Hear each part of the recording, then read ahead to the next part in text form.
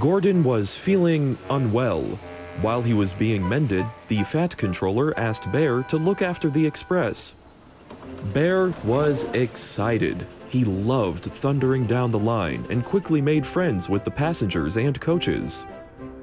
I can see why you all love this train, he would say to the others. You really feel a part of the railway when you pull it. The other engines understood Bear's feelings all too well and were very happy for him. All except one.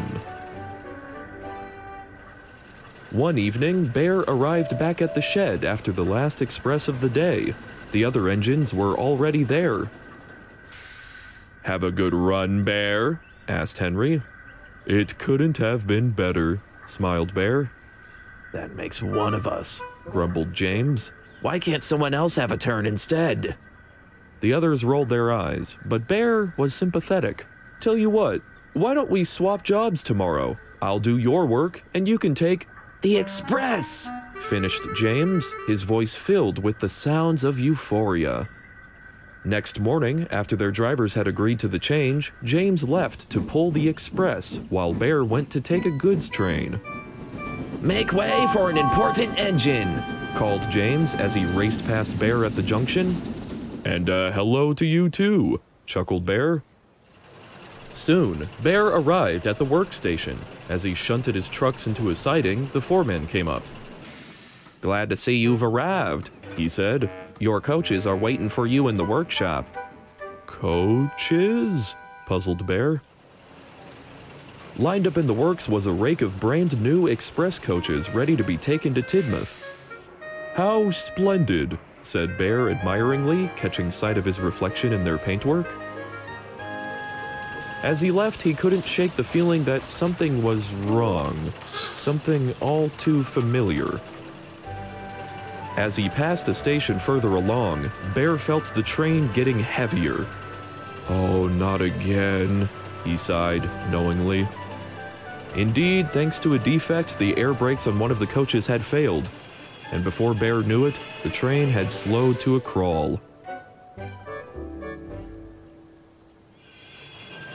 They struggled on to a signal box, hooting for a road. The signalman set the points onto a passing loop and telephoned back up the line to halt the express. It's too late, replied the second signalman in a panicked voice. You'll have to flag him down. With red flag in hand, the guard shot up the line like a jackrabbit, leaving Bear and his crew to handle the coaches. The sound of screeching brakes filled the air as Bear slowly dragged the coaches into the loop. Come on, he growled fiercely. Not again. A familiar whistle sent chills through Bear's radiator. James saw the guard waving his red flag and a coach jutting out onto the main line. Get out of the way! He cried frantically, braking with all his might. With an almighty growl, Bear tugged the coaches one final time, bracing for impact. But to his surprise, there was none. James raced past on the main line, Bear's coaches having cleared it just in the nick of time. He gave a sigh of relief. Oh, who would have thought empty coaches could be so exciting? The driver made a temporary fix for the damaged brake line, and Bear was able to bring the coaches to the big station. The Fat Controller was waiting. Well done, Bear, he said. Not only did you stop a nasty accident, but you still managed to bring the coaches home. You're a really useful engine. Bear blushed. Thank you, sir, but what about the damaged coach? Well, said the Fat Controller, I suppose we know what James' first job will be tomorrow. Bear couldn't help but chuckle.